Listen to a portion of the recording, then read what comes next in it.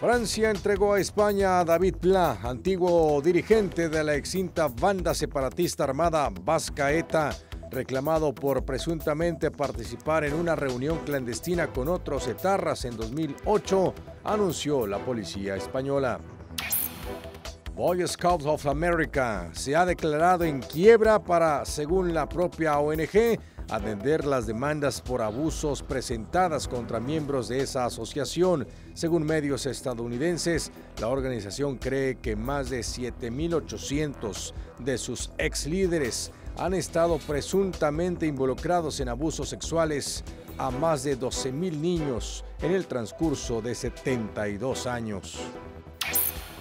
El gobierno de Donald Trump anunció que suspenderá las leyes federales de adquisición de materiales para acelerar la construcción de 283 kilómetros de muro en California, Arizona, Nuevo México y Texas.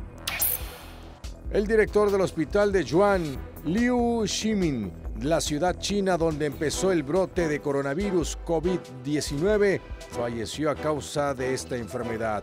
Liu es el primer director de un hospital chino que muere a consecuencia de la epidemia, según medios locales.